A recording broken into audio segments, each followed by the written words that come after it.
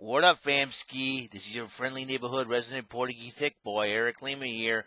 You are watching yet another video episode from my from my secondary YouTube channel vlogging, which I present to all of you. My sentimental thoughts come from my heart and my soul. I'm a mental oddball shenanigans. Come from the mind and brain. This is EML 77 TV, episode 920. What's going on, everybody? I hope everyone is having a wonderful, wonderful night. And I know y'all must be sleeping by now, but I'm doing a video so I can get this thing out of the way and done, so I can get cleared for tomorrow. So I can clear clear my uh, so I can clear my video scheduling for tomorrow for my YouTube show. All right, uh, SmackDown and 205 Live just happened. A lot of things. The SmackDown season premiere. Um, recap: Stephanie McMahon, Triple H kicked off SmackDown season premiere, introducing some of the new faces and, and familiar faces of SmackDown, and then a brawl, and then as the Street Profits were getting introduced, Dolph Ziggler and Robert Roode ruined the moment by attacking them from behind. Then a brawl broke out. Lars Sullivan arrived, took out a couple couple guys, Shorty G and Apollo Crews, while Sami Zayn decided to bail out. Jeff Hardy arrives. They had a matchup, and Jeff Hardy did everything he could, but could not keep the the freak down. And then he hit the Twist of Fate. The freak just sat up from that, and then hit the freak grabbed Jeff Hardy from off the ropes and hit it, hit it, hit the uh, freak accident, and Lars Sullivan picked up the victory. Lars Sullivan will be a threat to the Universal title. I wouldn't be surprised if that happened down the road. But and then you got the Intercontinental title too. So Lars Sullivan could be a threat to any title, but we'll see what happens in in the future. So watch him watch him in the future. The New Day's farewell match was a six-man tag against the team of Cesaro, Nakamura, and Sheamus. As New, New Day um, cut a promo saying how they um, for they been together for six years and how most of their most of the careers were at a crossroads until until they met each other and create something special. And you know what? Those three gentlemen are doing a wonderful job and done a wonderful job. And uh, they got a little emotional. And this would be the last time the three of them are together. Corey Graves obviously is happy. He gets annoyed by the New Day. Uh, Kayla Braxton interviews Sheamus Cesaro Nakamura. They were looking forward to ruining New Day's one final match together as a trio. As Big E, due to the draft, Big E will be remaining on SmackDown while Xavier Woods and Kofi Kingston, the new Raw Tag Team Champions, will be heading to Monday Night Raw, obviously. For Mania. For Mania. Right, Kofi Mania. All right. Um, so they they fought. It was a heck of a matchup. Double team, triple team, frequent tags, action, nonstop action. And in the end, uh, the New Day ended up picking the victory. Uh, picked up the victory, and they hugged each other. Big E's telling them, you know, you guys are my brothers. I'm really proud of you.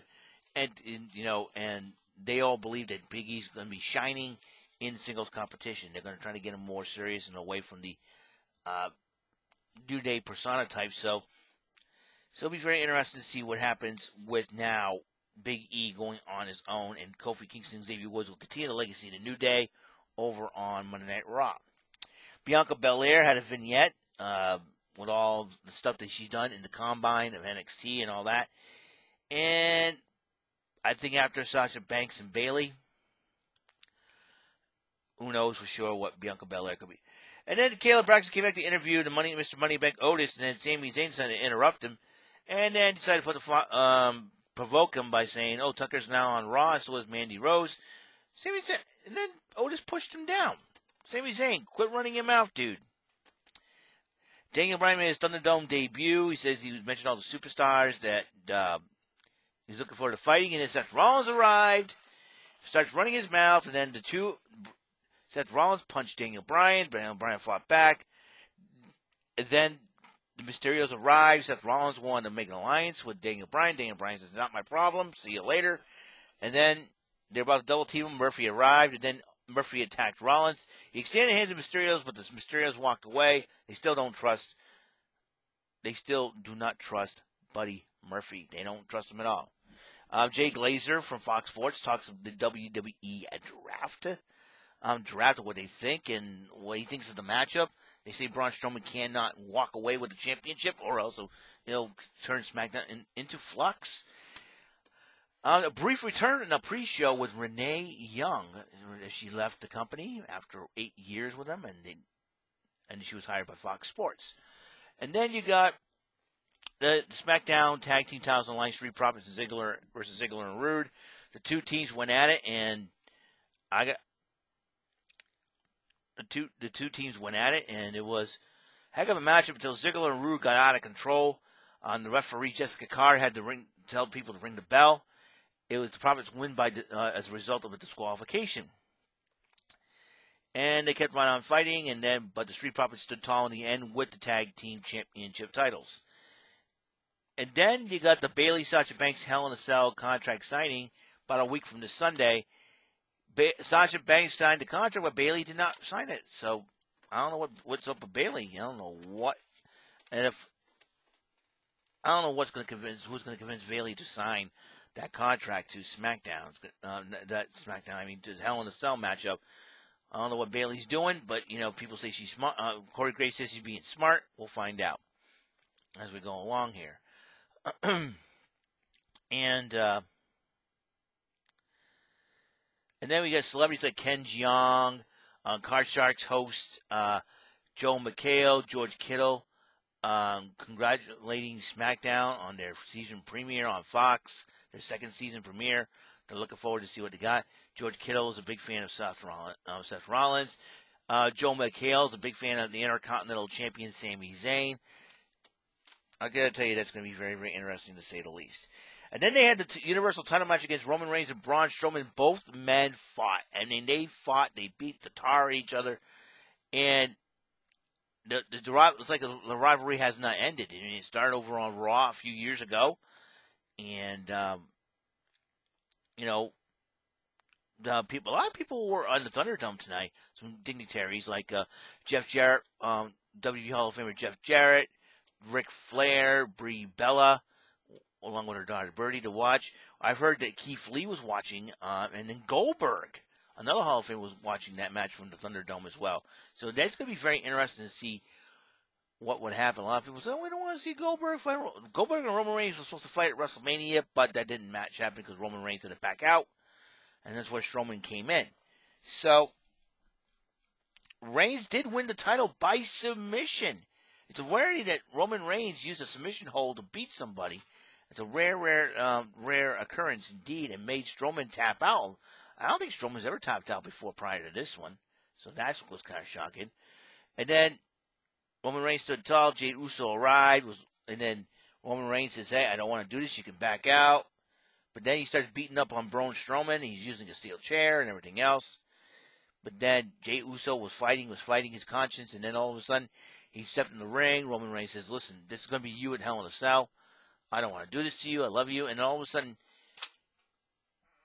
and then, he, and then he turns around and says, "Hit me, hit me with a steel chair." Jey Uso got the chair, put it down, and then he turned and Roman Reigns turned around. And he says, "You know what?" And he punched Roman Reigns right in the face. And he's hitting Roman Reigns. He said, "You know me, Uce. You know me. You know me." And then all of a sudden, the two went at it, and then Roman Reigns hit Jey Uso with the Superman punch. So and Roman Reigns walked out of there a little hurt and beaten, but uh, still is your reigning Universal Heavyweight Champion. I think this is going to be more personal now in the Hell in a Cell match between Jey Uso and Roman Reigns. This is going to be a very interesting uh, matchup to say the least. And I'm sure a lot of people are watching. A lot of people, a lot of family members saying, jumping on Jey Uso's side. We probably don't trust Paul Heyman. And personally, I think Paul Heyman may be responsible for what's going to go on. So, and and so we, it'll be, like I said again, it'll be something to watch when Jey Uso and Reigns when go at it in Hell in a Cell. And uh, we had 205 Live. Two of the new PC uh, Performance Center recruits have shot against Ariya Daivari for $10,000.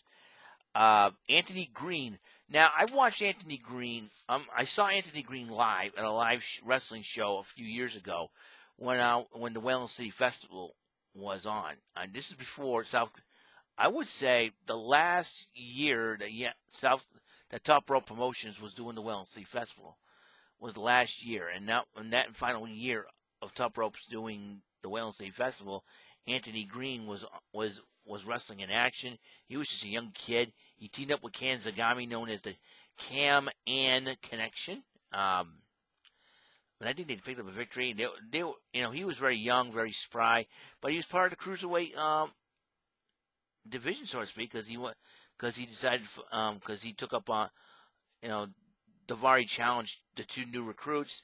They took him up on it, and so they there was it was a well fought match, but Daivari ended up dominating it most of the time, ended up beating him with his finishing maneuver one, two, three. Curt Stallion headed to the ring, taking his time.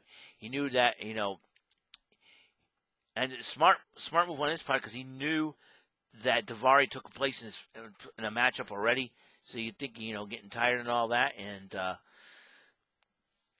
and then Curt Stallion was doing so well until Tony Nese got involved, hit hit Stallion with the running Nese, and Curt Stallion wins the match by DQ.